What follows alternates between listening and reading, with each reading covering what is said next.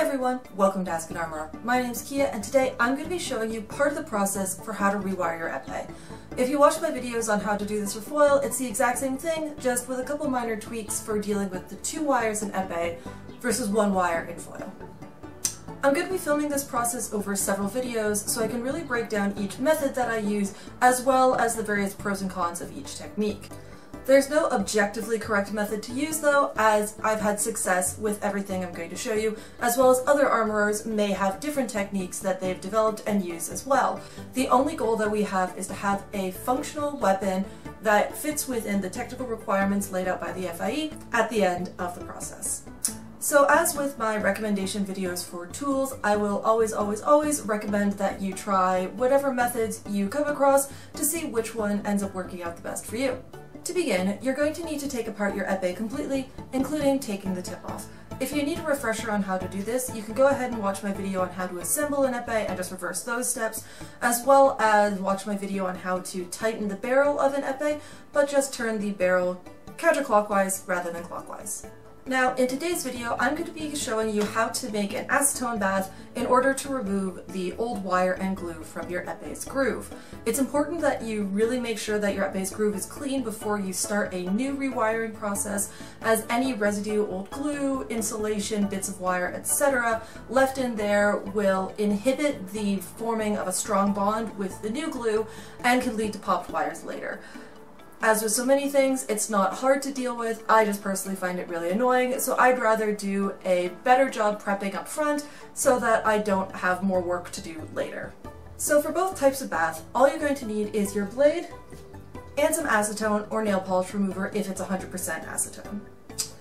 Then for one type of acetone bath, you're just going to need some tin foil. Make sure that you have at least three and a half feet's worth of it. And then for the second type, you're just going to need a steel or copper pipe with the ends, one end sealed and with a cap on the other end.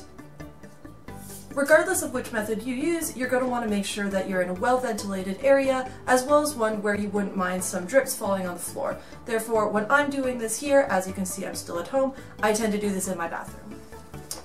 Alright, first I'm going to be showing you the way to make a bath with the tin foil. You're going to need to, a length that's about 8 inches or 20 centimeters longer than your blade.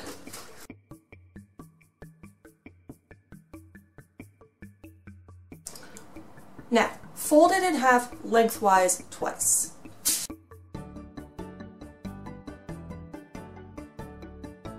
Next, bend it into thirds lengthwise, with the base being wider than your blade and the sides a bit longer, as we'll be folding them together later.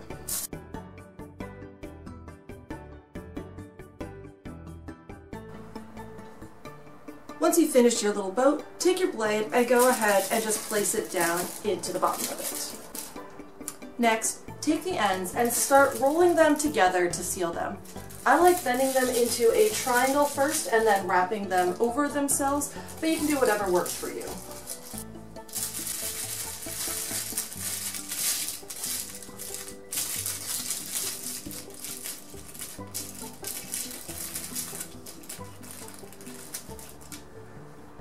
Once you've done both ends, start working your way down the blade, sealing the top edges together. Leave an opening a couple of inches wide, though, somewhere along the length.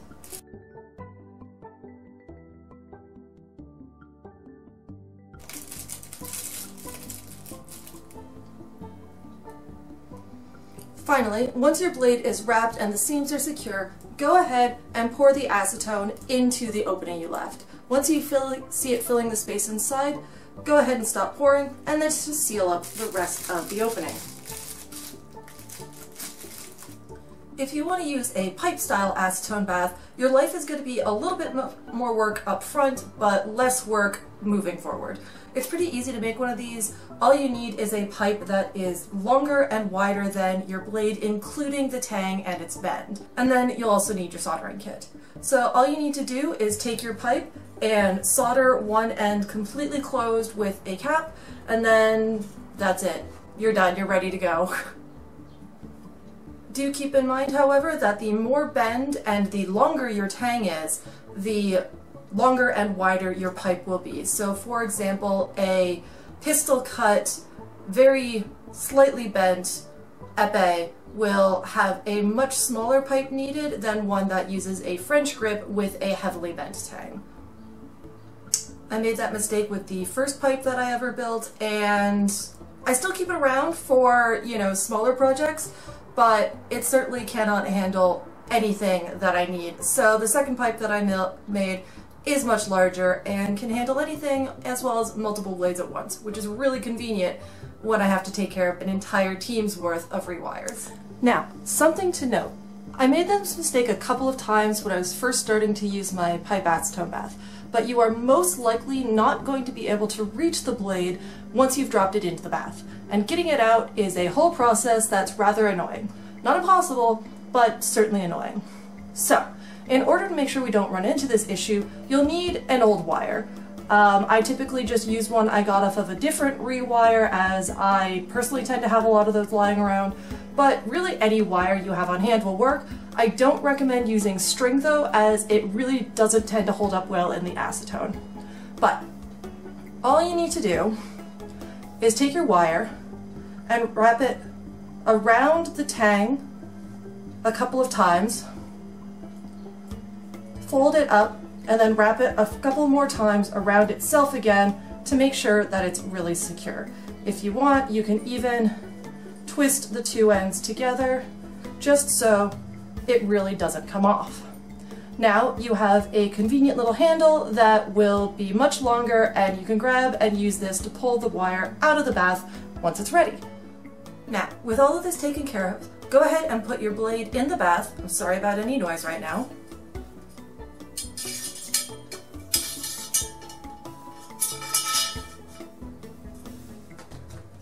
Up the rest of the way with acetone as needed. Finally, take your cap, and for the life of me, I cannot find the actual cap that goes with this, but if you don't have one, that's okay. You go ahead and cover it up and since I'm just using tinfoil, I'm going to add an additional sealant of just a bit of rubber band. And now, with either bath type, all we have to do is wait. The acetone is going to do all of the hard work for us and we just need to set this aside somewhere where it won't be disturbed for at least a few hours, but I prefer to do it overnight to really, really make sure that all of the old glue is dissolved. So the benefits of this process. As I mentioned earlier, the acetone basically does all of the work for us, and in this way we can guarantee the cleanest blade afterwards as the acetone can just access every part of the blade equally and dissolve everything. However, the downsides are that this method does have some danger involved as acetone is highly flammable and the fumes are really not healthy if you inhale too many of them. So, which is why you really need to make sure that you're doing this in a well-ventilated area in a place that you can monitor it. Also, this method does take a fair bit of time. Even the shortest amount of time you would want to keep something in the bath is at least two to three hours in order for it to be effective. So if you're really pressed for time, this method probably isn't the best one for you to use. And there you go, your blade is well on its way to being ready to be rewired. I'll have a few other videos on both other preparation techniques and then a couple different gluing techniques that I know coming up later, so make sure you stay tuned for all of that. Thanks for watching everyone, I hope you found this video helpful. If you did, please be sure to like and subscribe, and as always, if you have any questions, comments, or other topics you'd like me to cover in the future, let me know down below. See you in the next one. Bye.